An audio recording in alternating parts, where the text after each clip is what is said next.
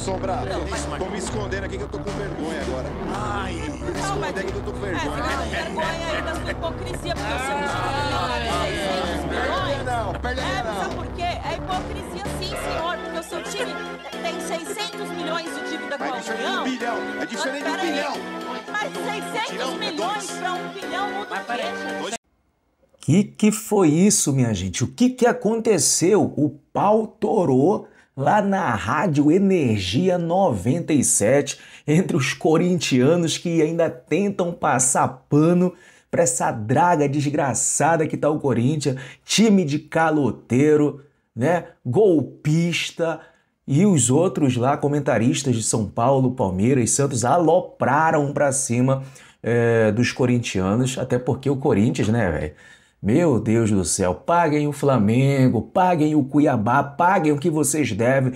E o corte que eu vou trazer para vocês é esse lá da Rádio Energia 97. Então, ó, já fica aqui comigo do início ao fim, beleza? Só que antes, bem, bem rapidão, rapaziada, ó, vamos chegando daquele jeitão, sentando o dedo no like. O like de vocês que ajuda muito aqui o nosso trabalho, o like de vocês que ajuda muito aqui o nosso engajamento também. Então, vai sentando o dedão no like. Se você ainda não é inscrito aqui do canal, botãozão vermelho aqui embaixo escrito inscreva-se. Clica nesse botão, é de graça, não custa nada. Compartilha este vídeo para geral e também ativa o sininho das notificações. Créditos, imagens, direitos autorais deste corte que eu vou trazer para vocês agora é lá da Rádio Energia 97 e olha só o pau torou lá na Energia 97 entre os corintianos, São Paulinos, Palmeiras por conta desse Corinthians que deve o nosso Flamengo e ainda falaram do nosso Mengão, o que foi o Flamengo lá atrás para o Flamengo que é hoje, né, para esfregar ali na cara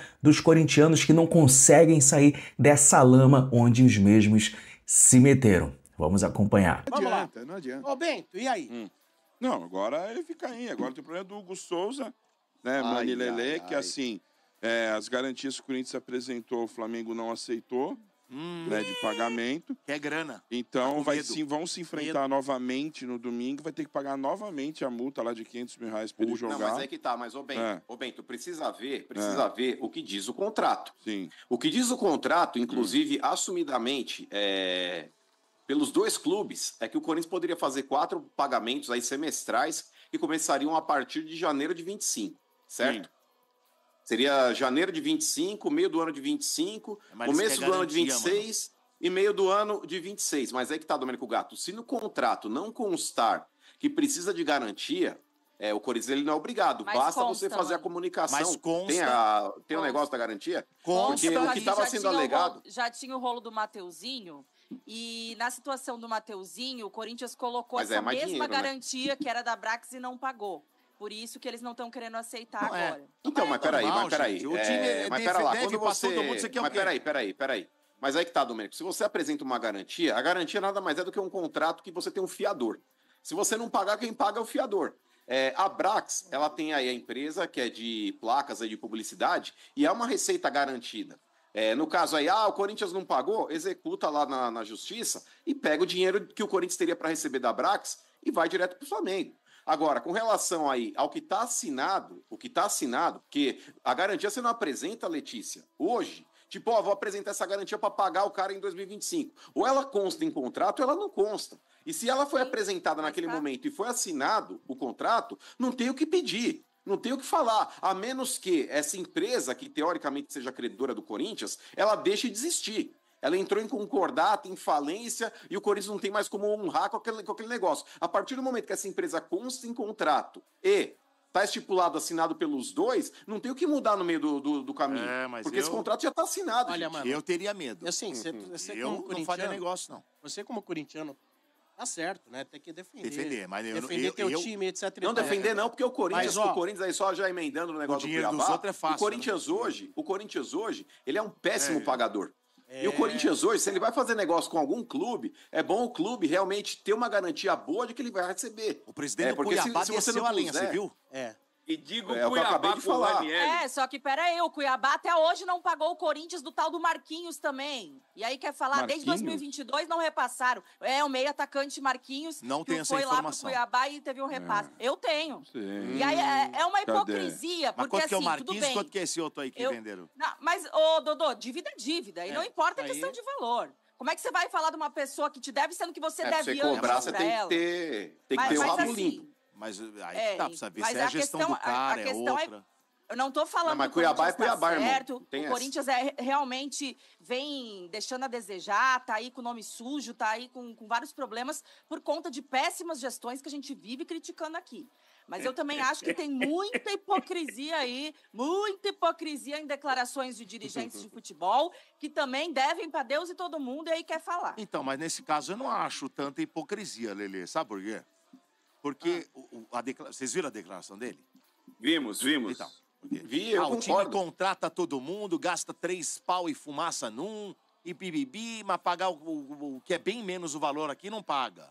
E ele tem razão. Ué, como não É, tem razão? quero- mas- mas- mas é só o Corinthians que faz isso? Todo mundo faz Não, isso, não, gente. Não, todo mundo não. Mas todo não é mundo. exemplo, né? Nesse Todo momento, mundo nesse deve, mas Opa, todo opa. mundo Todo mundo não. Todo mundo Não, mas não. pera lá. É... Não coloca nós nesse Mas balaio, independente, não. vamos, não, colocar, não mas peraí, vamos colocar o aqui Palmeiras um também tem dívida, Bento. E vocês Não, outro de dia o Juventude. Não, mas peraí, outro dia o Juventude, Juventude tá tá devendo o Juventude, sim. Palmeiras. Já pagou, já Não pagou. de Já mandaram o não, mas Pix não lá já. tá devendo também. mandaram já. Tá pagou, devendo não importa, já pagou. Então, então não vai querer jogar pedra no Não, não, telhado não, do mas já não, pagou. Paga primeiro. De vocês Agora, pra mim falar que vocês estão limpos. Vamos lá. É. É, não, é questão não é estar limpo. A questão nesse ponto, eu concordo com a Lelê, todos devem. Porém, a gente não tem que justificar um erro com outro. É, o Corinthians ele tem que honrar os compromissos que ele faz. O Corinthians ele não pode, Lelê, ter em diversas oportunidades ter o seu nome jogado na lata do lixo, é justamente por dívida que ele coloca até penhora como taça. A taça do Mundial foi penhorada. Ah, o Parque São Jorge foi penhorado. É, eu acho que o Corinthians ele precisa ter um pouco mais de responsabilidade é, nos compromissos que ele faz. É, por mais que o Cuiabá possa estar devendo, o Corinthians tem uma série de jogadores que também estão lá. É, o Marlon, o Walter, o Cleison, não sei se todos eles foram por empréstimo, se o Cuiabá pagou esses empréstimos, não sei também. Eu não convivo no dia a dia do Corinthians para saber. Eu estou repercutindo aqui as declarações do presidente do Cuiabá, que para mim são pertinentes. E vou falar para vocês, cara, para mim é uma pouca vergonha é, a CBF não criar uma Câmara de Resoluções, por mais que ela exista, Sombra. Verdade. E essa Câmara, ô Quintino, ela não tem uma atuação que tem um efeito imediato. Porque, por exemplo, lá não pagou, daqui um mês tem que ser cobrado. E se não for cobrado, já manda direto para a FIFA. E na FIFA esse Ó. processo tem que ser rápido também, porque isso aí pode comprometer a renda de muitos Deixa eu clubes. só trazer aqui. Diga, Ademir, diga. Não, é só sobre o Marquinhos aí que a Letícia falou. Ah, O, um dirigente do Cuiabá, que eu tô pegando até no site do meu timão, diz que vai pagar. É, é a a Não, última o- parcela é esta semana. Tá, tá dentro do prazo. então vamos explicar Ah, direito. então pra pera não... lá. Peraí, vamos explicar direito para não parecer. É... Tá aqui, matéria do meu timão, dizendo Isso. o seguinte. Abre aspas, Vai. tá? Segundo a, o, o clube cuiabano lá. Deixa eu ver quem que falou. Foi, foi o presidente. No contrato, porque assim, o jogador Marquinhos do Corinthians, ele foi negociado com o Apoel, um time lá do Chipre, se eu não me engano. Certo. Perfeito, do Chipre. Exatamente. E No contrato eram três parcelas que o Apoel tinha que pagar: 50 mil euros à vista, 50 mil no ano passado e 100 mil esse ano. O contrato previa que a parte do Corinthians seria vinculada à terceira parcela deste ano. A última. No- Exato. E o Apoel não pagou. Não tinha pago até essa semana. Nós cobramos o apoio na FIFA. Cobramos em 2022, eles pagaram. E cobramos também agora este ano e eles também pagaram, mas somente depois que entramos na FIFA. O dinheiro entrou na conta do Cuiabá no dia 9 de outubro deste ano. Isso. agora então. É, ele falou assim: "Ent- entrou agora. Então não é. Segundo o presidente do Cuiabá, não é que o Cuiabá não queria pagar, é que o contrato previa que a parte do Corinthians teria que ser repassada após a terceira parcela, ok? Só que o só pagou na semana passada, perfeito? E aí ele fala: "Pô, agora, como que eu vou repassar esse dinheiro pro Corinthians Se eles estão me devendo. se eles me devem muito mais? Hum, Ai, ai, E aí? ai, E aí, Lelê? agora- responde aí, Mas é Letícia. isso que eu tô falando. Ah, então, mas peraí. a- mas aqui, ó, a matéria que tava Matéria no do meu meu timão, e que eu timão. li aqui, Ai, ai, exatamente, do meu ai, timão. ai. Corinthians não recebeu do Cuiabá por venda de julho de 2022. Essa é a- era a matéria. Mas você leu a Então, matéria? Aí agora, sim, li, tá aqui na minha mão. Eu também. Ó, o cobrado publicamente mais uma vez. O, pelo, mas é que daí você leu a explicação do presidente do Cuiabá. Sim. Essa matéria que eu peguei aqui era, E é era de mentira? antes. Não, não, não tinha a explicação dele ainda. Ah, mas. Aí ele, ele fala aqui que o Corinthians não recebeu de- por uma venda desde 2022 e cobrado pe- publicamente pelo Cuiabá, o Corinthians ainda não tinha recebido o valor de cerca de 370 mil. Então, essa matéria, eu não, nessa matéria aqui, não tinha aspas do presidente do Cuiabá. Aí você foi atrás das aspas do Isso, presidente do Cuiabá, isso. que deve ter saído agora. Mas de qualquer Temos uma forma. Sombra, Isso, Marcão. Ô, Sombra, Então, tô- mas- Marcão. me escondendo aqui que eu tô com vergonha agora. Ai. Tô me mas- aqui que eu tô com É, vergonha. fica com vergonha aí da sua hipocrisia, porque o seu time Ah, deve é, 600 é, milhões. Perde a minha não, perde a É, minha sabe não. por quê? É hipocrisia sim, senhor. Porque o seu time tem 600 milhões de dívida Mas é com a diferente União. de um bilhão. É diferente de um Ah, bilhão. Mas Não- não 600 tiram, é milhões para um bilhão muda Mas o quê, peraí, gente? é dois Você quer discutir 1.400 dívida com a União? milhões. Vamos Dois. discutir dívida com a União, então. Então, só, mas, eu, mas tô- não, dívida com a União são dívidas gerais que eu tô falando. O Corinthians deve pra cacete. O Corinthians deve 900 milhões. Hum. Só que ano passado, vocês contrataram o Rames Rodrigues, Hum. vocês contrataram o Lucas, devendo também esses 600 milhões. Mas não e aí devendo ninguém pra outro chegava time. aqui... É, coisa Na- feia, Letícia. Ma- Ah, tá. Não, o São Paulo nunca deveu para outro time. Não deveu, mas. Tá, ponto- Não teve nenhum, ponto pro nenhum Maurício, clube do né? Brasil Essa- cobrou o São. Paulo na justiça por alguma Não, dívida. provavelmente, coisa Lele. Provavelmente Ah, já cobraram. Aliás, eu sou um dos maiores críticos do meu próprio time. Mas o meu Exato. time, meu time tá com a, a atitude agora de chegar e falar assim: o que eu gasto é isso, eu não posso gastar mais do que isso, né? O nosso, o meu time, inclusive na figura do presidente, tá pregando agora o junto com a Leila, que é o fair play, play financeiro, de maneira que a ideia é, se você deve para algum Não time, você não comprar. pode contratar ninguém. Lógico. Mas isso deveria Tá ter bom, sido feito há muito novo- tempo. Eu quero ver no- o Corinthians Sim, pregar a mesma sim. coisa. Sim, só que daí tem uma questão, Sombra. Eu não estou falando que é certo, tá, gente, dever, não pagar, como o Corinthians fez. A gente vive criticando aqui. As últimas gestões do Corinthians foram péssimas, afundaram, afundaram o clube. O que eu tô querendo criticar é essa hipocrisia que parece que só o Corinthians faz isso. Porque, ultimamente, se você pega todas as notícias, todas as mídias, todas as coisas que a gente fala aqui no programa, que vocês ficam zoando, parece que é só o Corinthians que contrata sendo que tá devendo. E todo clube de futebol faz isso, vocês sabem. Tá, mas aqui Não é é, um programa focado Então, nos assim, São Paulo, sei, Corinthians, mas- Palmeiras e Santos. E quem é o clube aqui que tem a maior fazem. dívida de todos? Não, Corinthians. É o O Corinthians. Corinthians. Parado. O Corinthians- Quem é mas que não gasta que não é a mais maior com o jogador? Corinthians.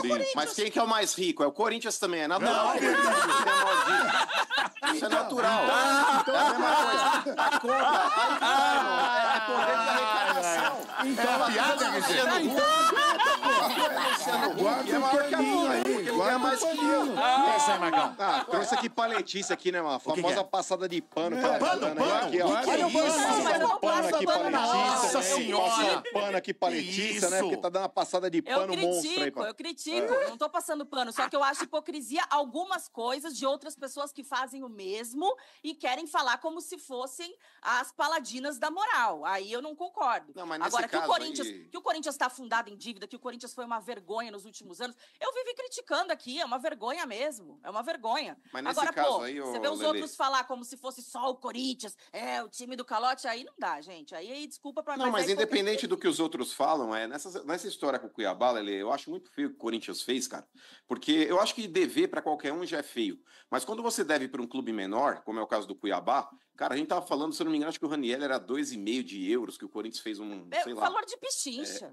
Então, não é pichincha, é pichincha pro Corinthians, mas, por exemplo, um pro Cuiabá. pra eles não, né? é. Então, mas é que tá, mas pro Cuiabá, Lele, é uma conta que pode É, pagar o ano. tem É, é uma Não, eu tô falando justamente mano, que é uma, é uma mas- vergonha, porque não, pro Corinthians é dinheiro de pinga, mano. Não tô Então, falando do Cuiabá, concluir, tô falando do é, Corinthians.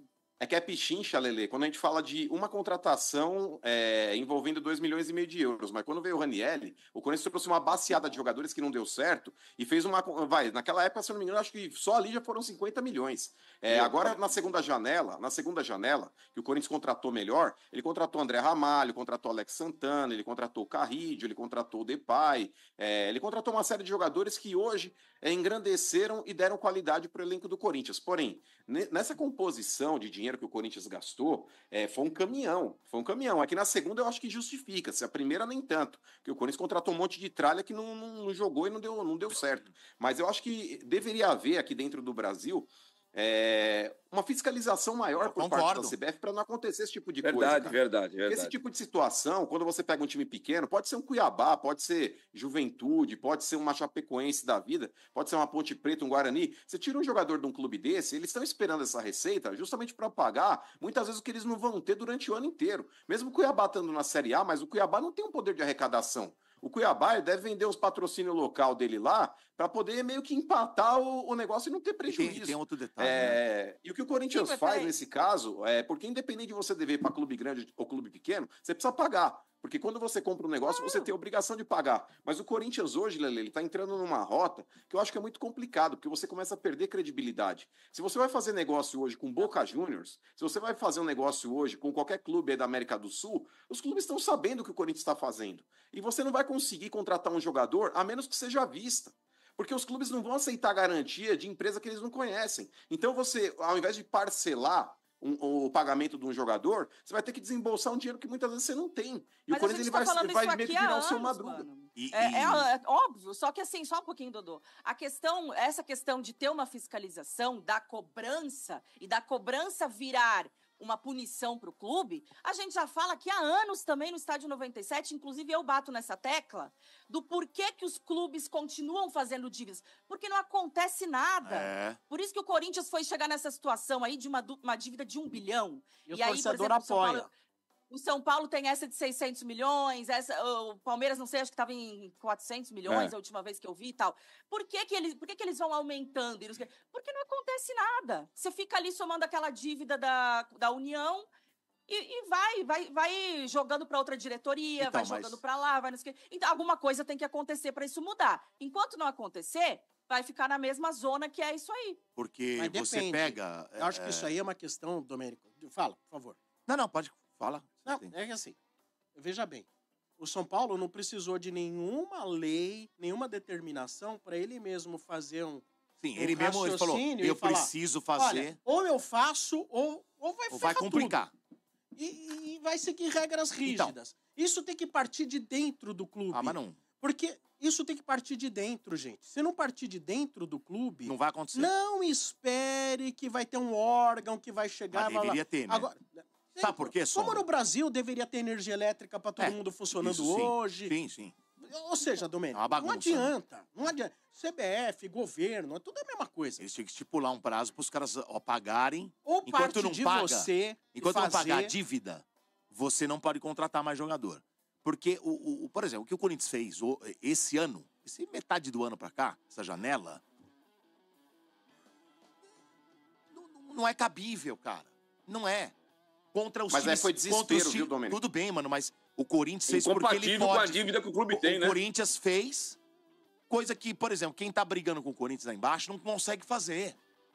Eles não vão trazer jogador de alto nível, não tem, esse, não tem essa capacidade. Então é uma briga desonesta.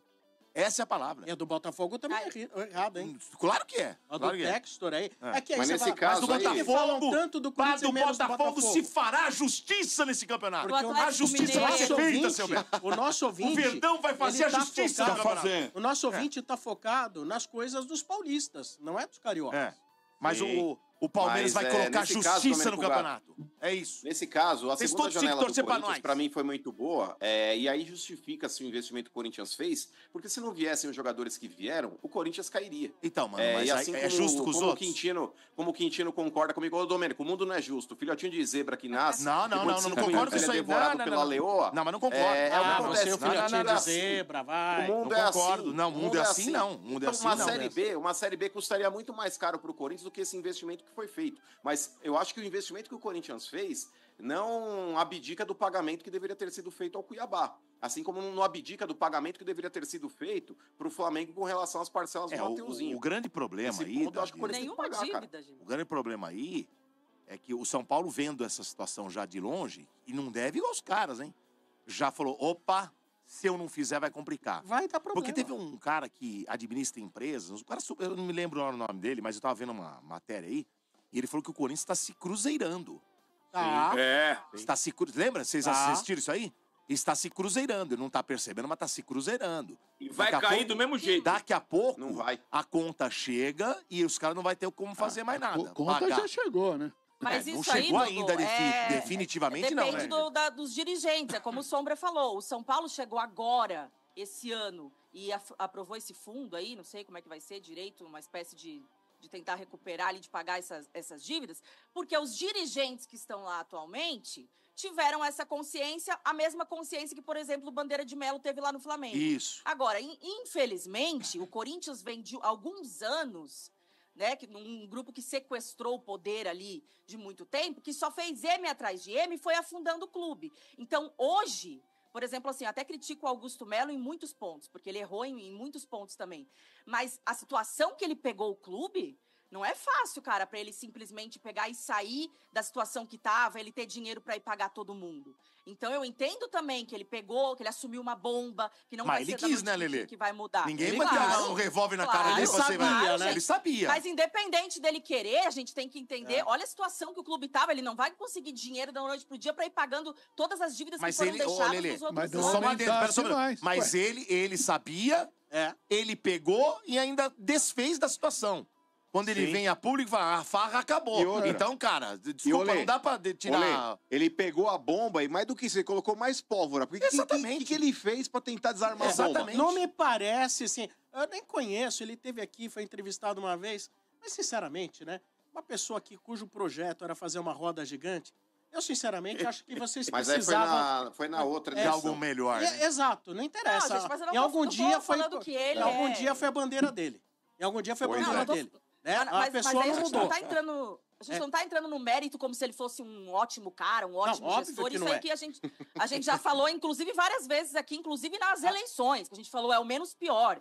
Mas eu tô falando é da situação, gente. Vocês esperavam o quê? Que quem entrasse agora ia conseguir estancar todas essas Não. M's Não, mas ele poderia feitas ser nos mais humilde. 10 Ué. anos. Quem entrasse Não, mas eu tivesse uma entendo que ele- consciência do que existe, do que Né? acontece no Lógico. clube e tomasse. Fala, olha, eu sei como é que tá, E- não prometo que vamos É, ganhar claro, título, Não. igual fez o É, cara do Flamengo Mas lá aí o que acontece? É populista. Mas aí deslumbra, gente. É populista. Não está aí para consertar a- a as finanças do As Corinthians. cagada, né? Está aí para agradar o torcedor, trazer quem quiser claro. que seja, gastar o dinheiro que não tem, E nem é dele. que nem é dele, como todos os outros anteriores. É É, tudo igual. É, isso tudo aí. igual. É isso mesmo. Cara, inacreditável, coitada da Lelê, deu até, deu até pena da Lelê, cara. Tentou ali justificar que não sei quem deve o Corinthians, que não é nada disso. Aí o, o Sombra leu realmente o que estava acontecendo, a coitada da Lelê ainda tentou se ju- se justificar, mas não deu certo. Cara, não dá pra justificar o injustificável. Não adianta a Lelê passar pano, não adianta o Mano passar pano, não adianta o de Paula passar pano, não adianta os corintianos passarem pano, gente. Meu Deus do céu, olha a situação que tá o Corinthians. Como que ainda tem corintiano que acredita nessa diretoria? Como que tem corintiano que quer passar pano para tudo isso que tá acontecendo no Corinthians? Como, cara? E eu afirmo aqui que o Corinthians, cuidado, Flamengo. Cuidado. O Corinthians quer aplicar mais um golpe no Mengão. Já tá devendo o Mateuzinho, parcelas atrasadas. Agora querem parcelar o do Hugo Neneca. Podem até pagar a primeira parcela, mas as restantes não vão pagar. Ainda não pagaram do Mateuzinho.